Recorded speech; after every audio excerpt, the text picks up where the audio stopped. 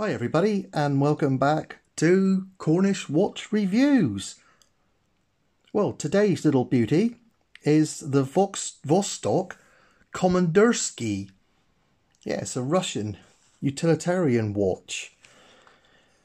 It's a chrome case, fully chromed as you can see.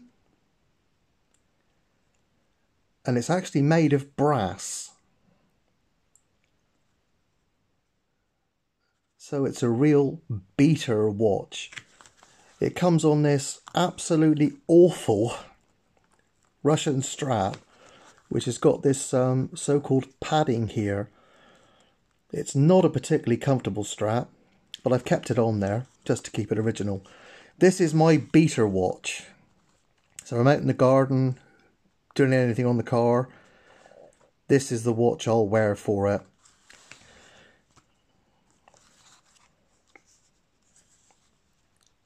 It's automatic. It's hand windable. There's no rotor in it. So it's fully manual. It's got one very unusual feature on it, which I can't see the point of. It's got a rotating bezel. It's a friction bezel.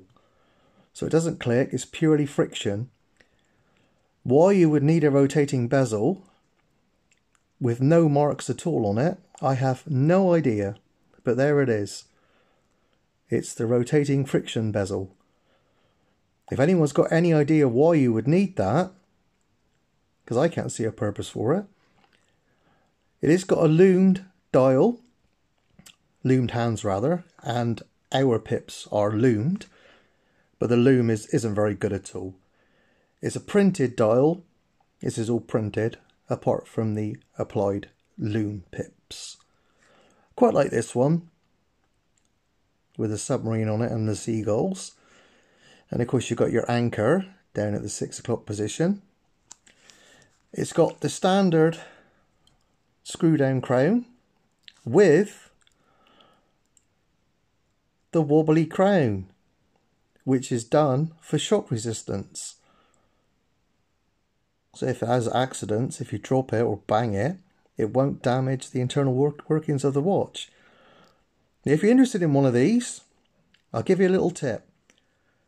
Only wind them 18 times. Lovely satisfying click, isn't it?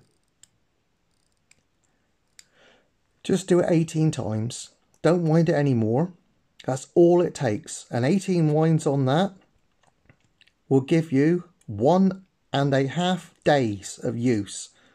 So it's quite efficient as far as that's concerned. Um, as far as accuracy, this one in very good. This one gains five minutes every week. Yeah, it gains five minutes every week. I was going to have a go at trying to adjust it. But as you can see, I've not bothered. Reason I haven't bothered is I don't wear it a great deal. It's just my beater watch.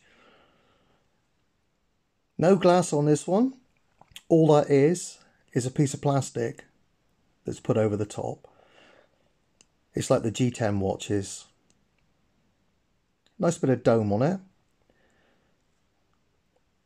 But uh, I suppose having that, a little bit of Polywatch, if you do scratch it, it'll come out quite nicely. As you can see, I've got no marks on it at all. I do like to look after my watches. Well, there it is. That's the Vostok Komandirskie. Oh, I might do a wrist shot in a minute. I'll put it on my other wrist as well like I did the other day.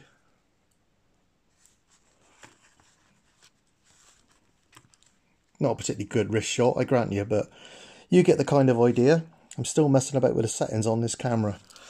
So please excuse me for that. Right, don't forget to like, comment and subscribe. And I'll be back tomorrow with another review or a look at another watch. I forgot to mention, this one has no quick set date on it. So you have to go up to 12 and keep going around. You can kind of do a quick set quick set hack. If you put it up to 12, then go back to 10 to 12 and back like that, it will actually reset the date. But I like going around all the time. I don't know. I just like that. Right, thanks very much, everyone. Bye.